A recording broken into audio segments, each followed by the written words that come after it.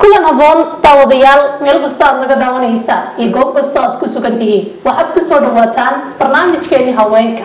Oo toddobaadkan ay marti igu tahay. Qora da-yar markaasi nicimo cabdiraxmaan shire. Nicimo waan kugu soo dhaweynaya barnaamijka iyo t v-ga star waan ku dhawahay walaala qaali waad mahadsantihiin idinka iyo t v-ga star nicimay soo dhaweynka bacdi runtii waxaa tahay qoraa. Markaasi haddaynu barnaamijkeena toos u guuda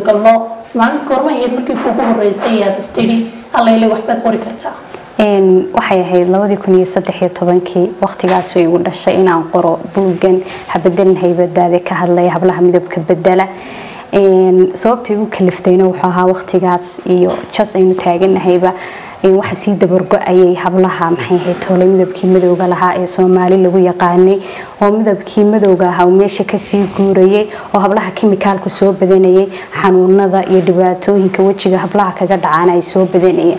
Waa waqtigii igu dhashay inaan buuga qoro waxaanan dhameeyey bishii sideedaad waa waqtigii aan buugga ka faraxashay sababta ugu weyn een ka doortay sidaan hore u soo sheegayba caqabadaha iyo dhibaatooyinka hablaha soomaalida gaar ahaan afrikaanka kale kolley way haystaan midabkooga hablaha afrikada kale. Laakiin hablaha soomaalida waxaa qalbigoogii gashay inanta madow lama guursanayo oo inanta cas ayaa maxay ahayd toley laga jecel yahay oo inamadu ka jecel yihiin.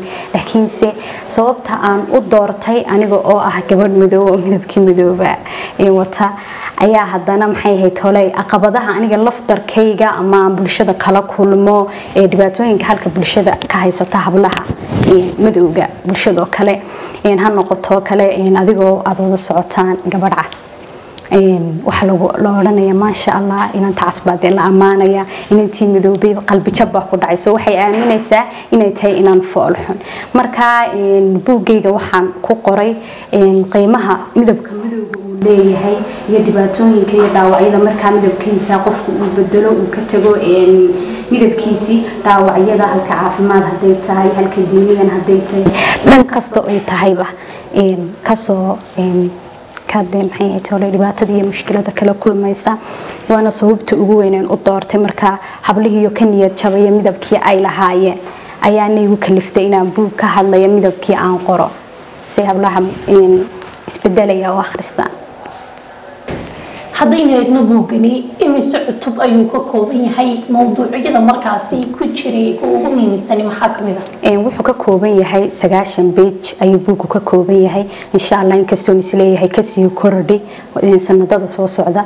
Qodobka koobaad wuxuu ka hadlayaa buuggani diinta shareecada islaamku iyo waxay ka qabto inuu qofka abuurtii ilaahay siiyey uu bedelo allah subxaana watacaala oo yidhi walaqad khalaqna alinsaana fii axsana taqwiin waxaan idiin abuuray sidii ugu quruxda badnayd. Laakiinse intaan aayadaa dhaafnay aynu midabkii hablihii bedelayaan iscadaynayaan allah subxaana watacaala oo yidhi yani gabadha abuurteeda bedasha inayna jannada dee urinaynin oonay galistaayo de abuurteedii bedasha abuurtii aanu abuuray.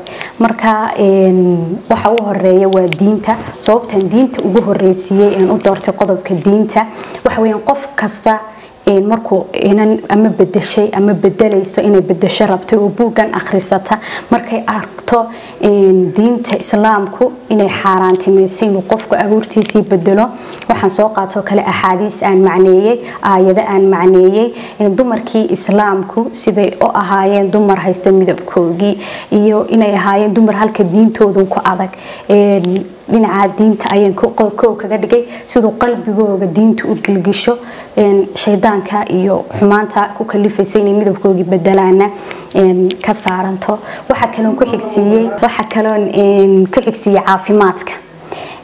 Kolley caafimaadku waa waxa ugu muhiimsan aynu nolosha haysano dhibaatada ugu weyn ee gabadha iscadaysa ama midabkeyga bedesha ay la kulantaana kow waa xanuuno halka maqaarka kaga dhaca skin cancel oo kale maqaarka kansalka maqaarka waxa ku dhaca milil wejiga ah waxa ku dhaca cambaaro waxa ku dhaca gabadhu inayna hadhow markay hooyo noqoto inayna maxay ahayd soole ilmihii kala dhalayn oo gabadha iscadaysa waxa dhinta oo unugyadeedani suntan kimikaaltigani ay qaadaa maxay ahayd soole unugyadeedii qaada kadib unugyadeedii markay suntaasi qaado gabadhii waxaa dhimanaya unugyadii haddii hadhow gabadhu hooyo noqoto dihashada sameynaya soo foolanaysay marka ama waa in qasab lagaga foolsiya fooras lagaga soo dhaliya ama waa in qaliin la qalaa. Gabadha waxaa kaloo ku dhici karaysa inay halkaa kaga kaxaysaba dhalmada oo maxay ahayd tooley alkii de ilaahay inoo abuuray de ilmagaleenkii uu maxay ahayd damage garoobo oo suntaas ay damage garayso. Daawooyinka laysku cadeeyo ee midabedelida waxaa laga sameeyaa sunta la yidhaahdo mercury. Mercury suntaas waa sun lagu daweeyo badanaa kansalka hydarkuwinon oo iyaduna aad dawo aad u khataro oo midabedelida midabka waa sababta inantii iscadaysay ay moodaysa inay cadaatay koley maaha cadaan qofkii midabedel baa ku dhacay. Suntaa meesha lagu shubo qofka lagaga shubo waa sun jeermisyada jirka ku dhaca lagu dilo iyo xanuunada qaar iyo sidoo kale gaangarida xanuunka la yidhaahdo.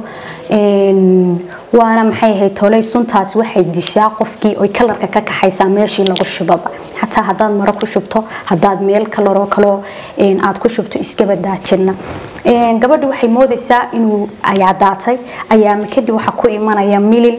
Mililkaa hadana waxa u raacaya cambaaro hadana waxa dhimanaya iskiinka wejigeega sare iskiinkaas oo badanaa hablaha ilaahay iyo ummadiisa oo dhanba ah biyaha wayna iska ka soo celina hadaan dhididno hadaan fuluq laakiin gabadha iscadaysa dib bay ugu noqotaa markaa suyuc jirhkeegiibaa ura cadcad bislaaday oo kale.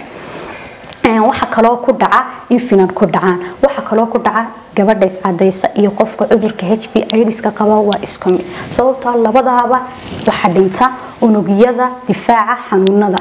Qof kasta oo ibni aadana ilaahay wuxuu u sameeyey unugyo ka difaaca xanuunka oo dee laasim uu u baahanayaa dawo laakiin xanuunadaas ka difaacay. Laakiin qofka xanuunka h b idiska qaba unugyadaasaa dhanta.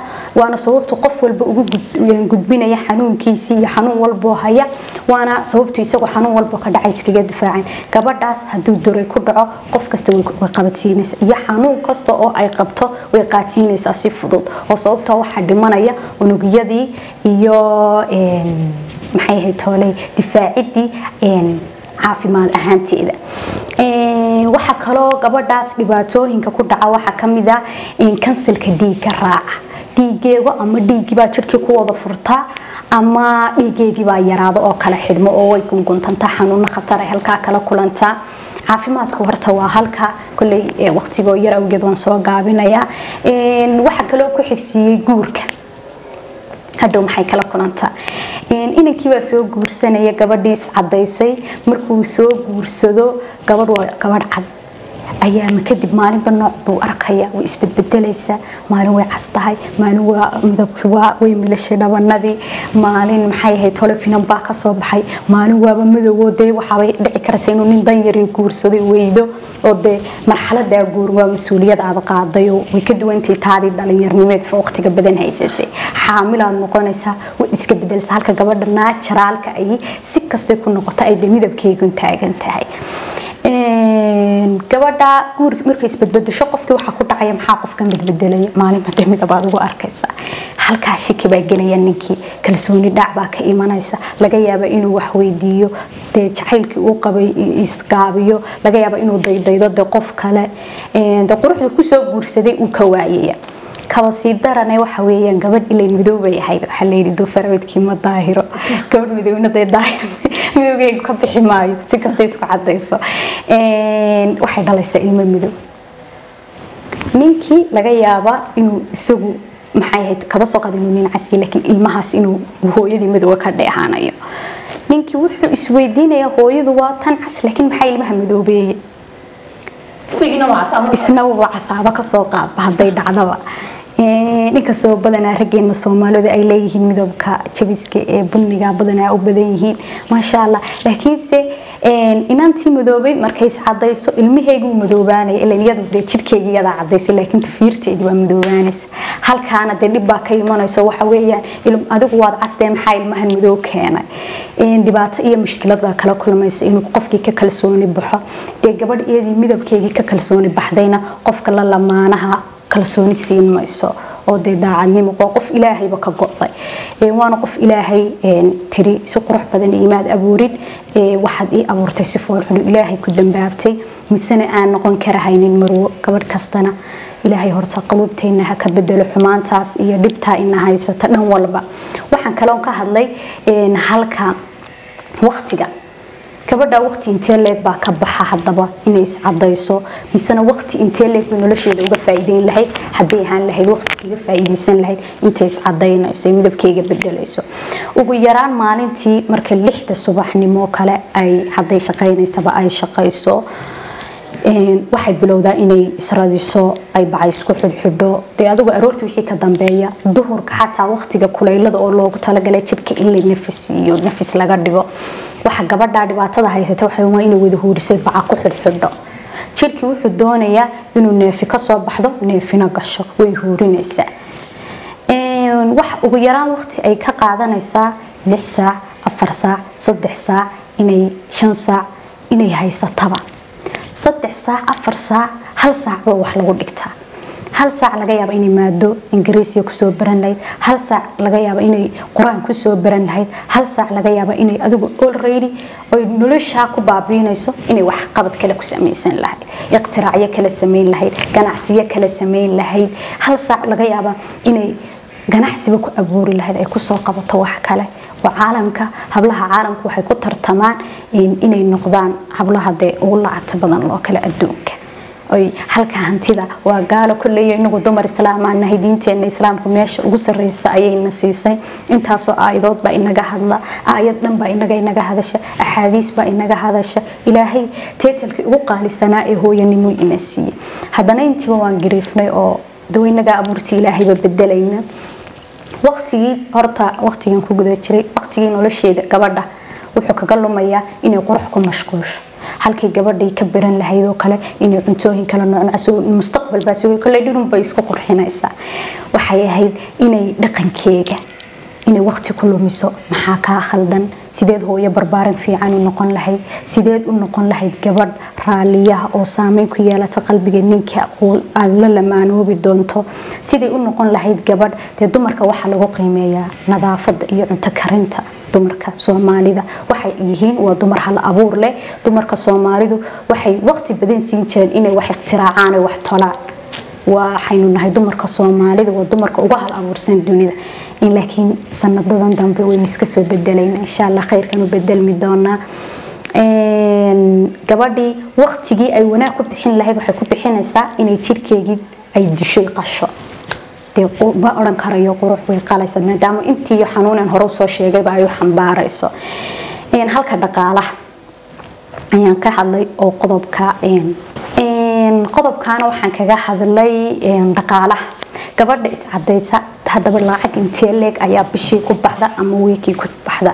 Dawada ugu yar waqtigii aan daraaseynayay dawooyinkan la isku cadeeyo lacagta ku baxda.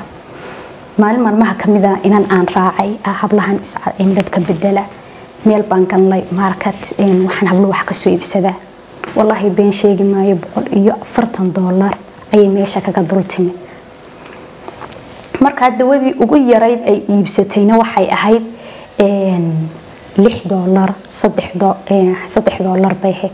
Oo dawo yaro waxay ahayd ku jirtaa caagad yar. Ayay ahayd waana wax yar hadda. Halka allah subxaana watacaala waxay dumarku isku qurxiyaan diinteena islaamku way ina siisay waanaynu haysanaa.